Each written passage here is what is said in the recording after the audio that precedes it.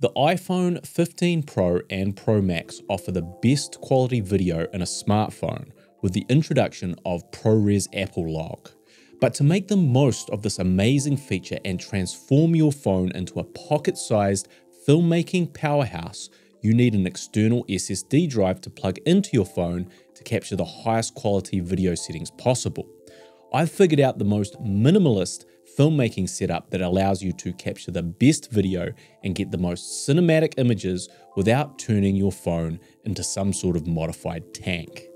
I will put links to all the parts I mentioned in the description so you can build this rig super easily. Now, I've seen all sorts of SSD solutions for the iPhone 15 Pro, but almost all of them have the same problem.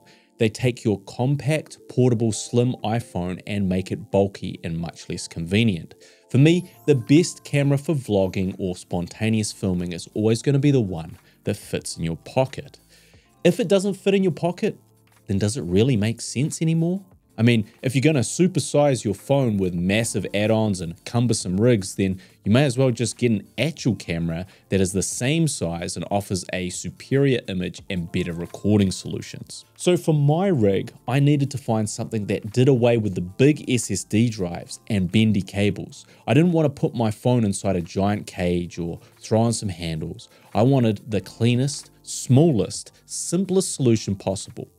First, we need an SSD drive, and while there have been many suggestions to use Samsung T7s and Crucial X9s, they then need to be solidly connected to your phone using its MagSafe or smartphone cage to remain securely in place, and they start making the phone way too big. But then I stumbled across something much smaller, the JE2230M2 enclosure through a YouTuber linked in the description. These SSD enclosures are designed for tiny M2 NVMe drives. They're only $20 on Amazon. You then need to purchase the NVMe drive to put inside it. I found this affordable Kingston 1TB SSD on Amazon for $86. Now you just remove the screws on the enclosure with the supplied Phillips head, place the NVMe drive inside, place a little bit of thermal paste on top of the NVMe, and close the enclosure. To connect it to the phone, I use the USB-C Type-C to Type-C 180 degree right angle adapter, which allows me to plug the SSD into the phone and have it lying flat against the phone itself. There are lots of different versions of this adapter online, but you do want to use a high speed 40 gigabytes per second version to allow you to uh, record at the highest quality without dropping frames. And I use this because I find it fits very flush against my phone case. But if you're paranoid about wiggle, you can add a small Velcro pad to the drive and the bottom of your phone, as I've done, to make sure that this SSD drive is perfectly locked in. But to get the best, most cinematic image out of your iPhone, you're also going to need ND filters. You see, if you allow the iPhone itself to auto expose your scenes, it will adjust the shutter speed to compensate. This will lead to very weird looking movement from anything inside your frame, and well, it just looks ugly. So just like a regular cinema style camera, you need to fix your shutter speed at double your frame rate. The only way to keep your iPhone correctly exposed on bright sunny days will be placing an ND filter in front of your lens. This way you can keep your shutter speed at the correct setting while keeping your image correctly exposed. That's where the Freewell Sherpa case comes in. Now, I've looked at all different cases and cages you can get, and most of them wind up adding too much size and weight to your phone, exactly the thing we want to avoid. But the Sherpa case looks like just a regular protective iPhone case. It's not heavy, it's not massive, but it can take its own proprietary ND filters, which simply snap on magnetically to the case. This is good for two reasons. One, you can remove them very quickly without screwing and unscrewing them. Two, they're nice and small, so even if you keep them on, the whole rig still fits in your pockets no problem. I recommend the two variable ND filters with the 1 to 6 and 6 to 9 stops of ND, which also includes a built-in glow mist filter. Why do you need a glow mist filter along with the variable ND? Well, even though filming an Apple log removes a lot of the digital sharpness from the image, it's still pretty sharp. And This mist filter along with the ND helps to take that ugly digital feel away from your images and make them soft and beautiful. Both sets of ND filters allow you to maintain correct exposure on the brightest of days, and the standalone glow mist filter can be used at night when ND filters are not required. So now we have the perfect compact iPhone 15 Pro or Pro Max filmmaker setup. But there's a couple of extra things you could think about if you really want to make the most out of this new iPhone rig. First, let's talk about gimbals.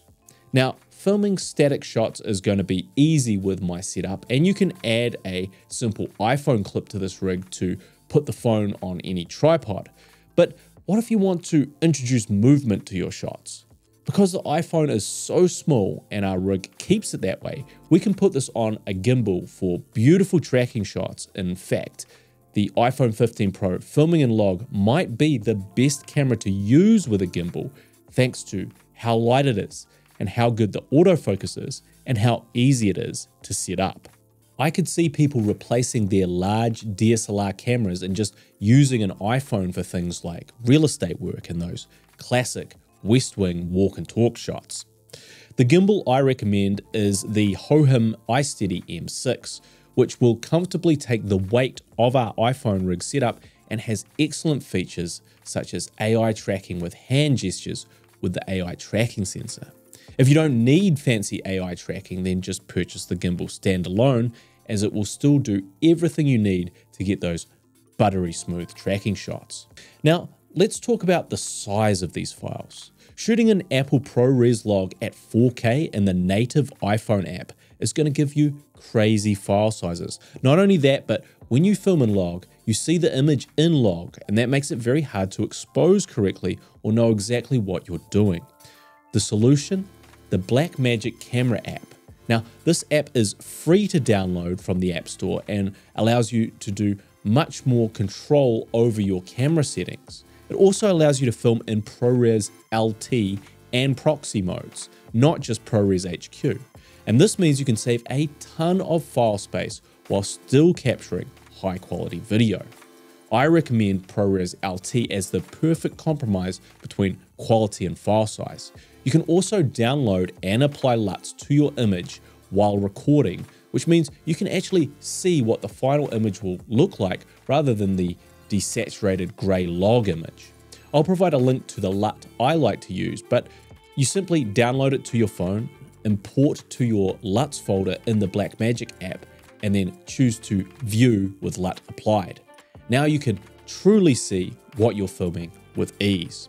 There's only one drawback to this iPhone rig. When you put the filter over the camera lenses, you cover the front-facing microphone, which means your audio quality is really going to suffer. And because you're running directly into an SSD, you can't plug in a microphone for audio. This is an example of the audio with the ND filter placed over the front-facing microphone. This is an example of the iPhone's microphone picking up audio when there's no filter on its front. The best solution for this is to record your audio separately.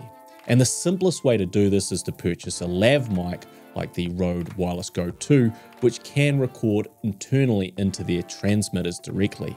Yes, you'll have to sync this audio to your image in post, but as a workaround to keep things as stripped back as possible, it works just fine. And this is an example of the Rode Wireless Go 2's audio coming from this lavalier, which is synced to the iPhone in post. Can you use the iPhone 15 Pro with this rig and really compete with a true video or cinema camera? I dedicated a whole video comparing the iPhone 12 to a RED camera with a shot-by-shot comparison, which you can watch here.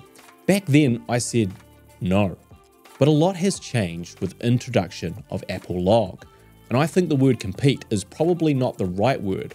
While the iPhone 15 may not directly compete, it can most definitely complement a regular camera without it feeling like smartphone footage, like I'm doing right now as I record this talking head on my iPhone 15 Pro.